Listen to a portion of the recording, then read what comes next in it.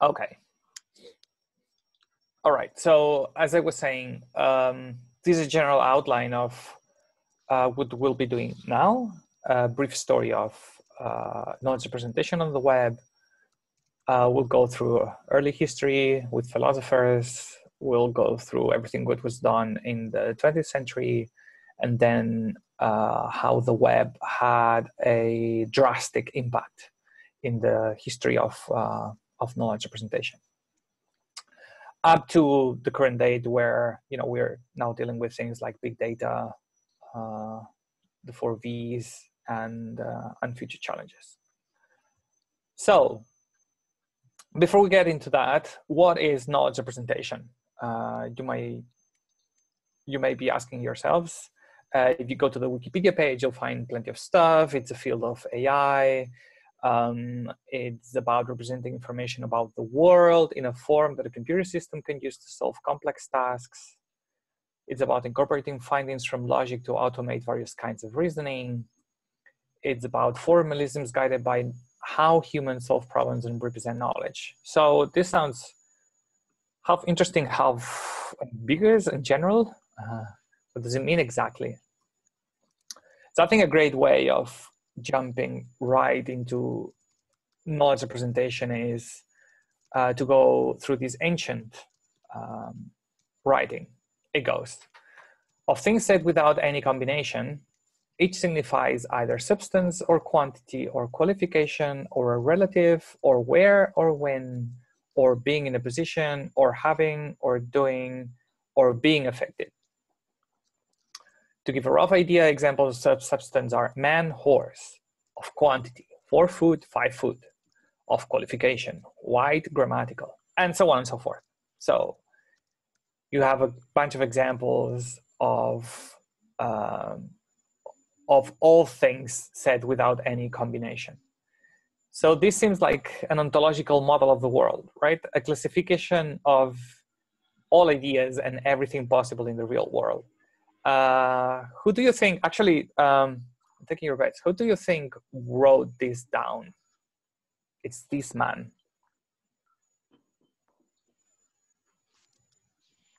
My favorite guy. No takers?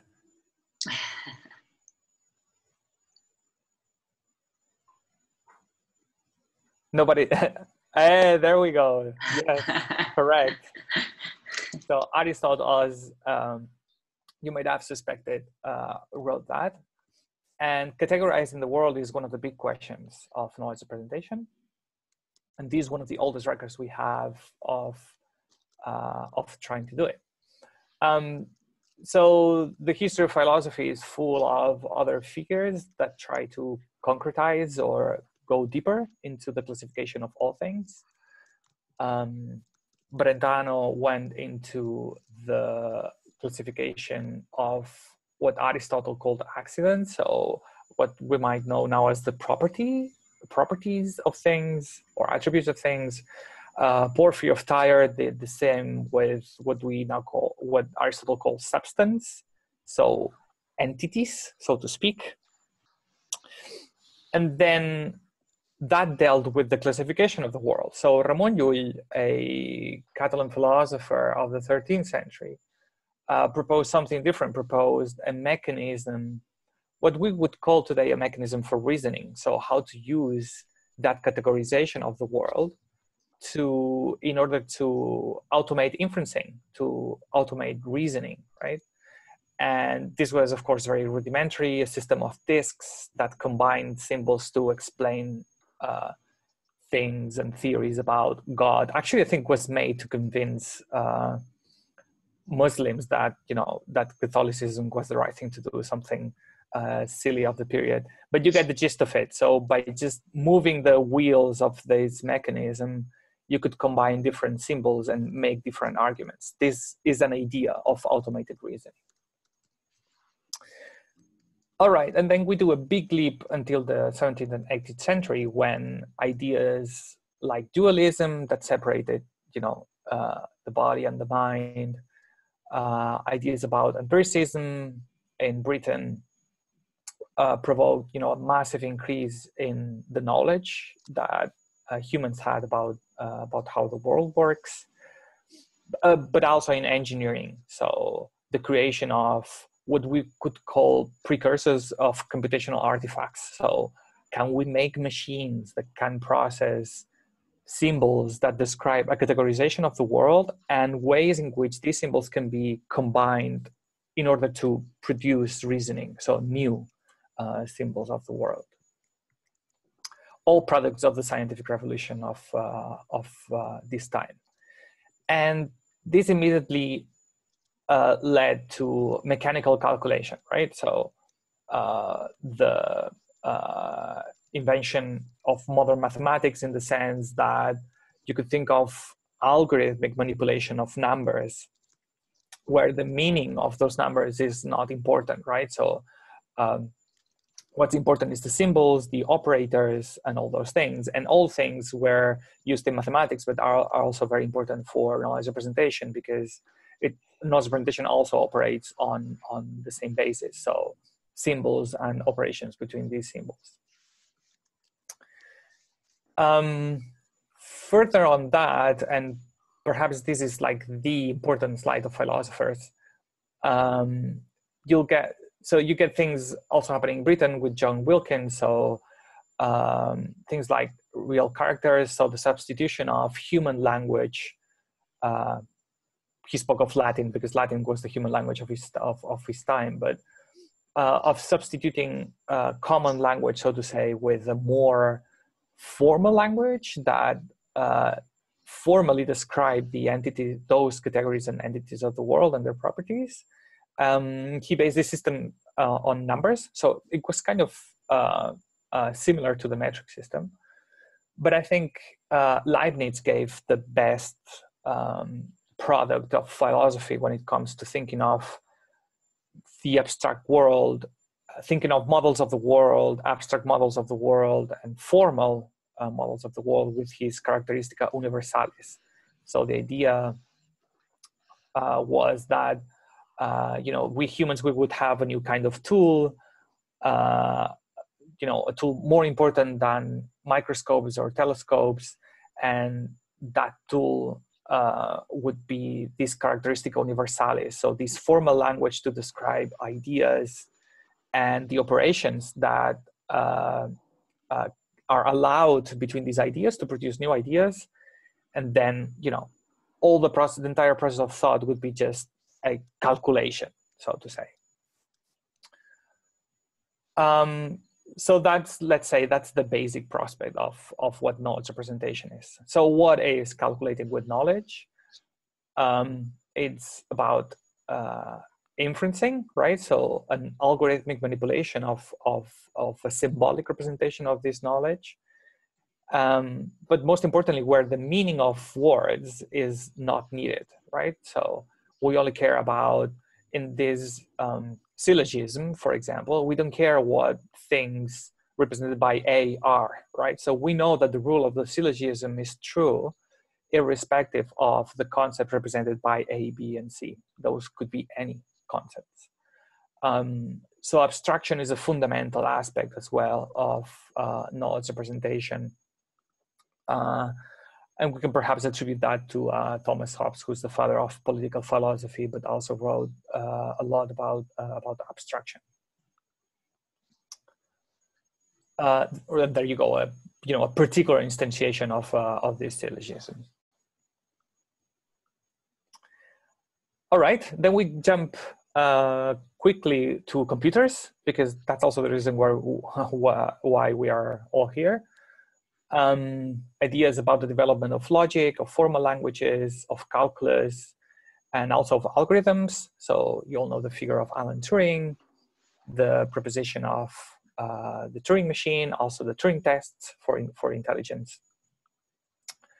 Uh, to von Neumann, we owe the processor memory architecture, and also the birth of AI in the 50s with uh, automatic theorem proving.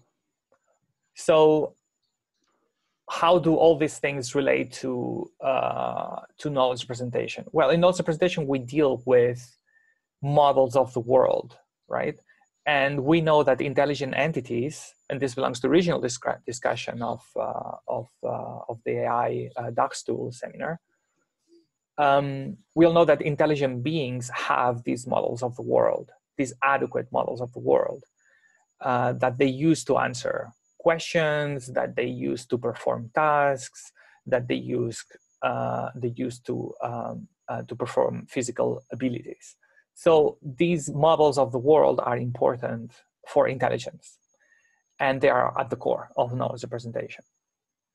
So they're about knowledge representation is about the correct representation of these models of the world and also the reasoning that we can do with those models of the world um, uh, following established uh, certain rules. All right. So something important to take here into account is that these representations and the reasoning that can be done with these representations have a certain complexity, right? As we will see in the course. Um, not as you would have seen in the KR course of, uh, of the master. That's the purpose of that course, to go into this complexity. Um, but we'll see a little bit of it uh, during this course. But the, the takeaway message here is that some of these reasoning tasks are very inefficient. Uh, they cannot be done uh, in a more efficient manner. Uh, so we need to choose very carefully which ones of them we allow in our knowledge representation language so that the language itself will be able to, you know, to compute and to finish in a reasonable time uh, when we ask it to, uh, to reason. So an important part of uh, KR was done in the 50s with uh, propositional logic and, and SAT, so uh, the satisfiability problem.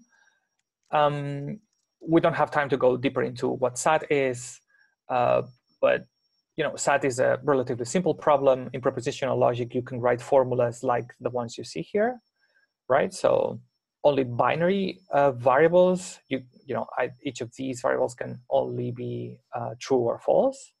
And then the satisfiability problem is finding a right combination of assignments to these variables, what we call a Uh, uh, satisfy what we call an assignment, so that the formula, uh, when we compute the formula, the formula will be true, right? And we call that a satisfying assignment. So if uh, a, if a propositional formula has a satisfying assignment, then the formula is satisfiable. And if it has not, then it's unsatisfiable. So in this example, you can see here that if we set uh, A, uh, B, and C uh, to true, or to one for the matter, then the formula is true, which means that the formula is satisfiable because there is at least one satisfying assignment. Now, if we change the last clause and instead of saying no C or B, we say uh, no C or no A, then the formula is not satisfiable. So this means that if we try every possible assignment to the variables, we will never find one that makes the formula true. So the formula is always false. And if we want to do that, well, there are obviously two to the power of n assignments for n variables, and this is very expensive. So there is nothing else we can do uh, to find out whether the formula is not satisfiable other than going through all the possible combinations, so all the possible assignments, and checking them.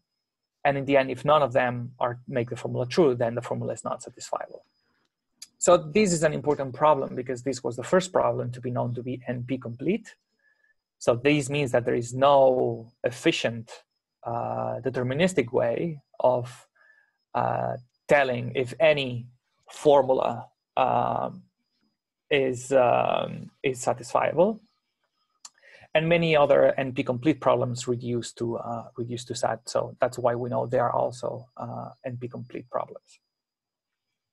So a lot of research in knowledge representation in the 50s had to do with you know representing the entire knowledge of the world as propositional logic formulas and seeing if uh, if they were more or less um, uh, satisfiable. Then in the 70s, things changed. So we had a little bit more of, a, of expressive uh, logics. um, we had uh, ways of um, of describing rules and facts, and basically that gave birth to expert systems. So we could feel systems that had essentially a, a knowledge base, so a large list of rules, things of the liking of if fever and coughing, then uh, flu or cor- coronavirus. coronavirus, exactly. That was uh, that was. If it, I mean, that's because it was the the the, the 80s. Because if it was now. yeah, exactly. um, exactly. So that was the knowledge base, this long list of rules. Then we had a fact base. So you can think of that as an initial variable state, like, you know, Albert has fever, for example and then an inference in engine. So something that would take the facts and they it would put the facts into the knowledge base and then you know operate the rules until the rules generate new facts uh, that are relevant for a certain task. So the obvious problem, this worked very well in some fields, like in medical diagnosis. The obvious problem with that is managing this large number of rules, because as soon as you want to make an expert system good in anything, then you have lists of thousands of thousands of rules, and that becomes unmanageable. So this gave birth to um, to knowledge organization and knowledge engineering, which is very important. Then on the uh, question, uh, I got a question. You said SAT is NP complete and shown case with two SAT isn't two SAT polynomial. Yes, true. That's very true. Uh, that crossed my mind while I was uh, on that slide, and to not spend more time on SAT, I didn't say that, but yes, this is true. Two SAT is polynomial time solvable, and uh, and uh, only above that things get NP complete. So it's a problem that quickly gets NP complete, but the simple version of it is uh, is uh, is polynomial. Uh, uh, thanks, Marcin. Um, right then, on the 80s and 90s, we have this huge leap into frames and semantic networks. So the idea is not so much um, the the description of uh, you know finding the right logic to encode all this uh, content of the real world, but to actually model the world, right? So to uh, write down things in in these so-called semantic networks, right?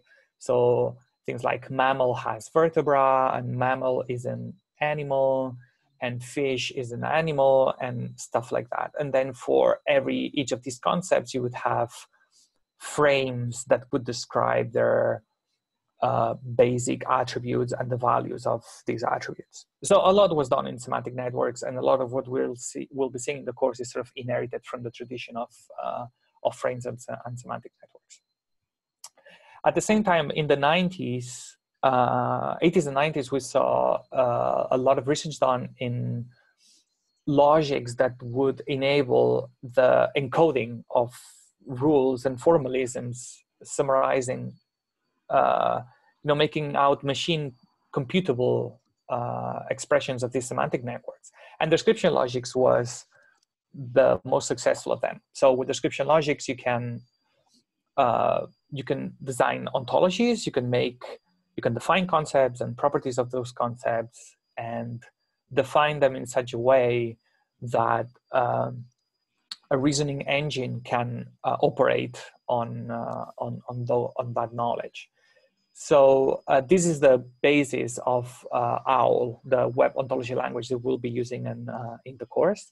And as I said before, certain choices that you make in, these uh, in these description logics uh, so in the specific description logic that you choose for your formalism have a strong impact in um, in the complexity of reasoning. So if you want uh, if you want your your ontology to be able to say things about uh, role transitivity, then that's going to have a price, right? And some of these things are cheap, and some of these things are expensive. Uh, so the University of Manchester has worked out a very very cool web application where you can just go and you know tick around the things that you want in your description logic, and it will tell you how complex it is to uh, solve you know concept concepts disability or uh, or ABox consistency or all of these tasks. so, um, so uh, any questions? Any more questions so far? Uh, checking the hands up menu and the chat.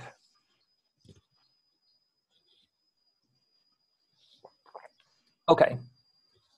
So, um, so what is knowledge representation? What is an ontology in the context of everything we just said?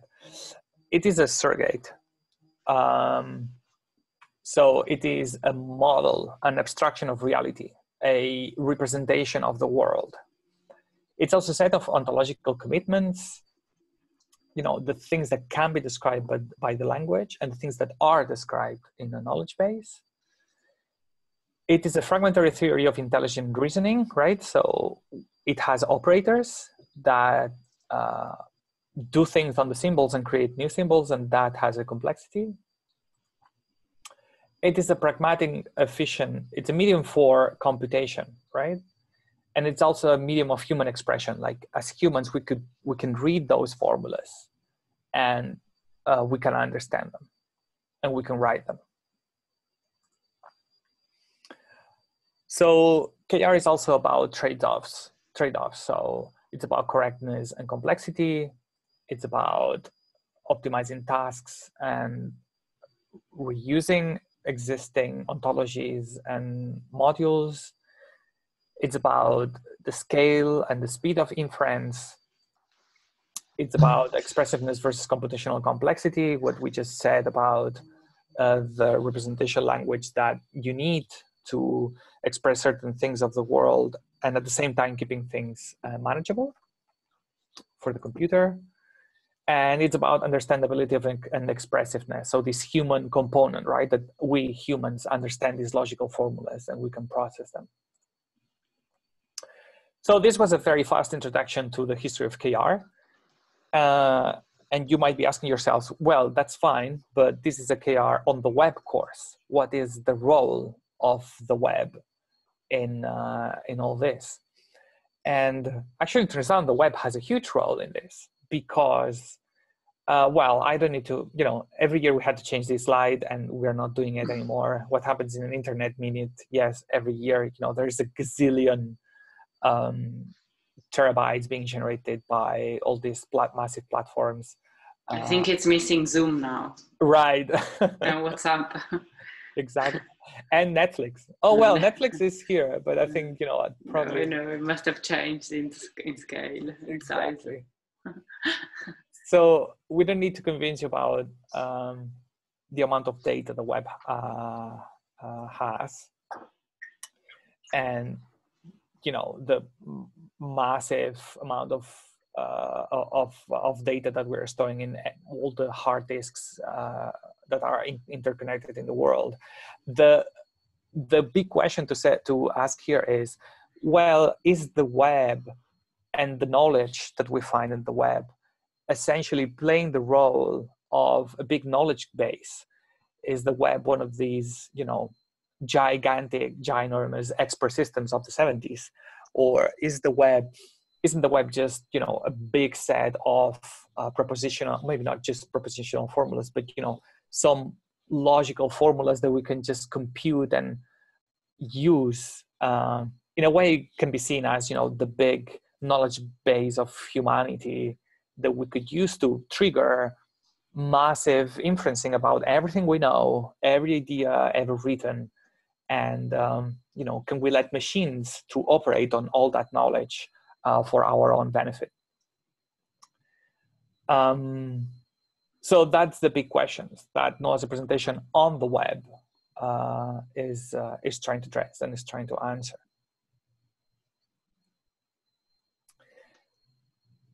So that's on a very general level, right? So in a very specific level, this translates into everything we find on the web that is that comes in the form of data, right? Not so much in the form of human knowledge, because we don't know exactly how to make machines understand human knowledge. Although I think we've gone a long way in the last years. Um, but this is a very basic problem. You know, the Facebook has my ID and knows everything about me as a person and of my social network and places I've been, parties I've gone, all that sort of stuff. I'm also a number in the LinkedIn database. I'm also there on the web. LinkedIn knows everything about me as a worker and my jobs and my colleagues and my publications. But somehow this is disconnected from each other, right? So me as a person on the web, as in this big knowledge base, I'm sort of repeated in different databases. And these databases have different schemas. Essentially i'm two different persons one in facebook and the other one in linkedin. And you know this holds for all of you uh, all of us. Um, so it's very hard to get this global vision of singular entities when uh, data is so uh, uh is contained in silos and uh, and uh, clustered in, in individual data banks so here comes the vision for a web of data, right? We have data on the web, lots of data, but it's not a web of data. And um, does any of you know who the man in this picture is? I do. Anybody else? Yes, exactly. there you go. the inventor of the web. It's getting better. I mean, I was in um, a, a robotics uh, summer school and I asked the students whether they knew who he was, and they were like, no, never seen. it's incredible. He, he gets getting more and more famous. Yeah. Um, so he put this into a into very practical terms, right? So he said, you know, there's lots of data on the web. I can see my bank statements on the web and my photographs, and I can see my appointments in a calendar but can I see my photos in a calendar to see what I was doing when I took them? Can I see bank statements lines in a calendar? No. Why not? Because we don't have a web of data, because data is controlled by application, by applications, and each application keeps it to itself. So this basic idea of disconnected databases that don't share don't link information um, among them, right? Uh, you can get so tim has lots of interesting talks about this topic uh, on the web. Um, part of your homework before Thursday is to uh, for you to click them and and take a look. It's really interesting. Will we? Uh, so Andrew asked, will we at all touch on security and data privacy issues in this course? Not really. So I think these are parallel issues. Uh, they are primary concerns of the web community. In the semantic web, there has been work done on security and data privacy. Um, but they won't necessarily be part of the topics. I mean, it's they can pop up in the projects, of course, and in the and in the reading clubs. Uh, but we won't devote uh, theory sessions to them essentially because we have no time. All right. So, uh, any more questions? Okay, so um, so Tim himself proposed this vision of the semant for a semantic web, right? So you can think of this as a big semantic network that uses all of the content of the web to structure the knowledge of uh, of the world, right? And he thought of uh, of a web that would become capable of analyzing all of its data, so the content of the links, um, so that could make our lives easier right so a big management system on top of uh, all the knowledge uh, on the web um, so this can only happen if you know websites publish their information in a machine readable format right it doesn't work if people start publishing pdfs on the web or scanned images on the web uh, it needs to be machine readable it needs to be linked, right? So we need to be able to establish links between my Facebook ID and my uh, LinkedIn ID, and you know all these things need to match and fit and integrate together. Uh, we need to make enough domain knowledge available to machines to make use of the information. We need to tell the machine what a person is. We need to tell the machine what the properties of a person are, and what are the basic properties of basic uh, concepts of the world and the properties of those concepts to make uh, to make all this work. And of course, we need to make machines able to find and combine published information on the web in that way. Uh, so that they can use them in their inference engines.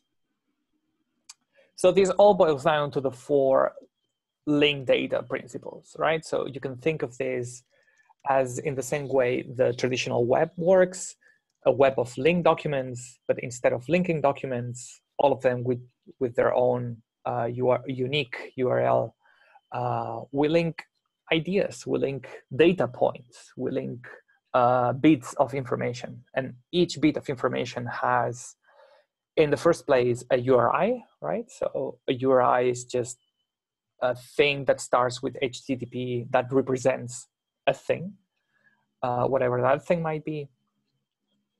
Uh, the second point is that we use HTTP URIs, right? Because in that way, everybody can, humans and machines can access them and retrieve content from them, just in the same way they use HTTP URLs to retrieve web pages and their contents.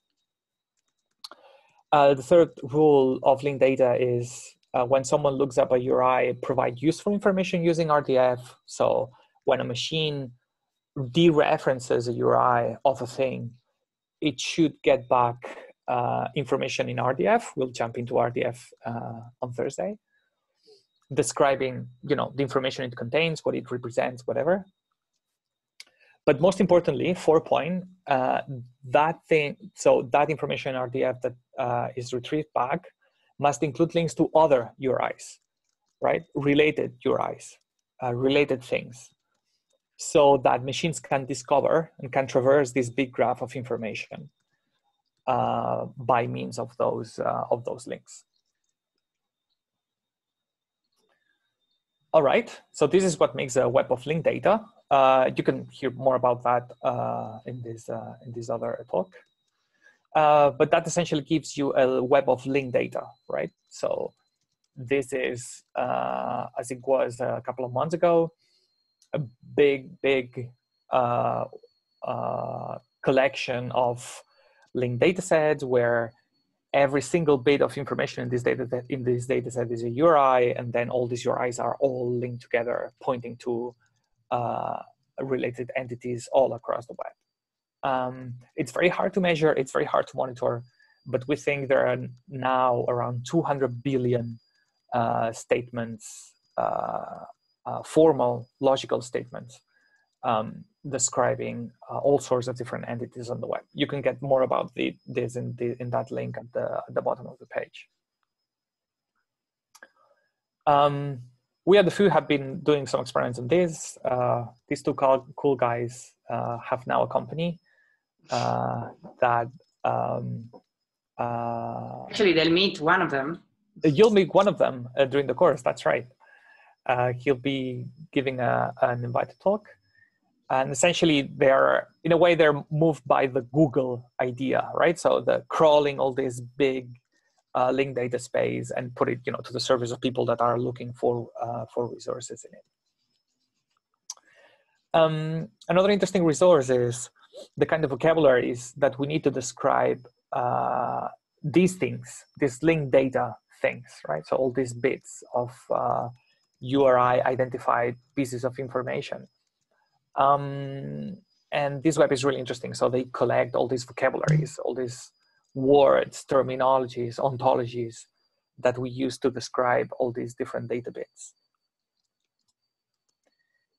So um, I'm going to quickly go through the prospects of big data because uh, this has really been a lot of content for a for a first uh, for a first session um, you need to think about all everything we just said about linked data and the semantic web in the context of big data, right? So, what is big data? Um, big data is essentially four aspects of data that we learned over the last, I would say, 10 years.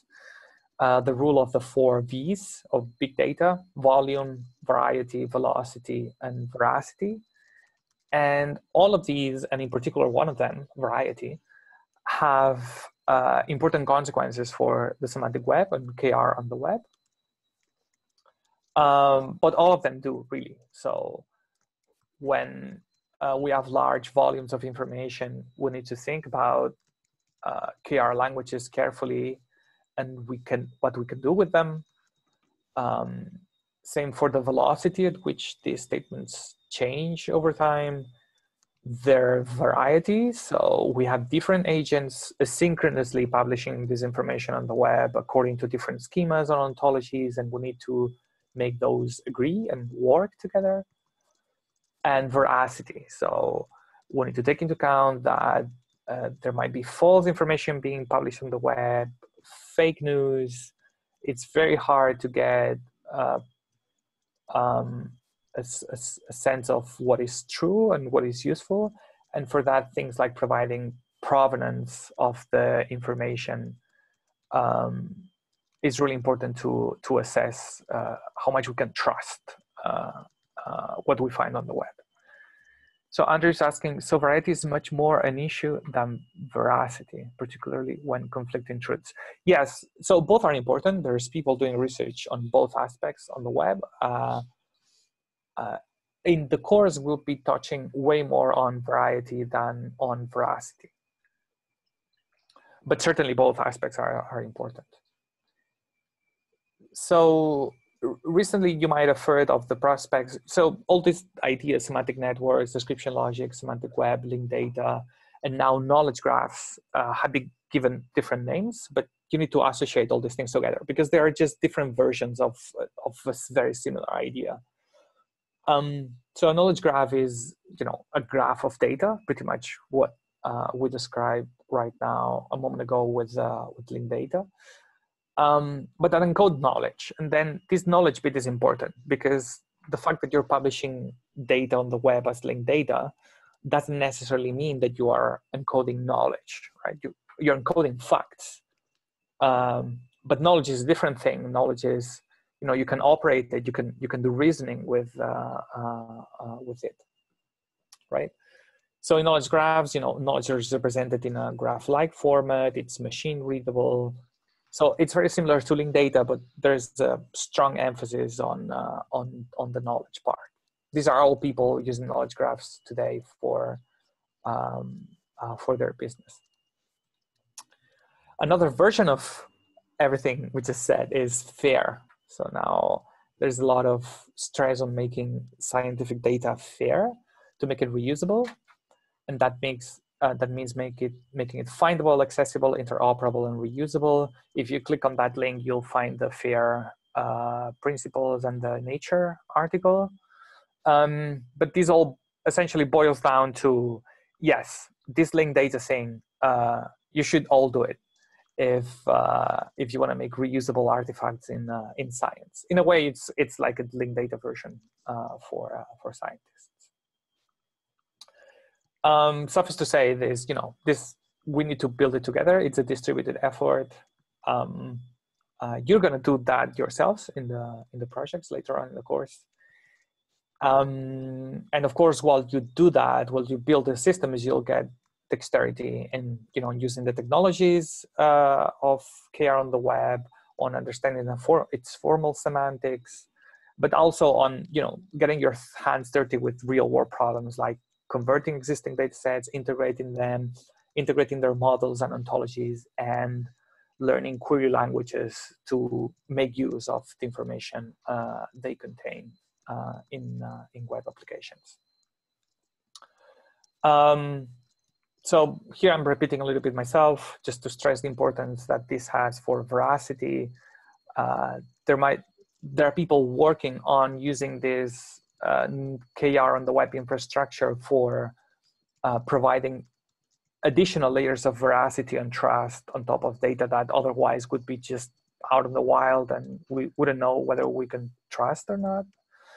Um, but also variety because you know the fundamental problem of making linked data on the web and KR on the web is that we have information from all different kinds of sources and formats and schemas and uh, uh, assumptions and you know and identities. And we need to conciliate all that. We need to put that into some sort of uh, manageable space where machines can know uh, the identity the identity of all these things and how to operate in a in a in a very very diverse uh, environment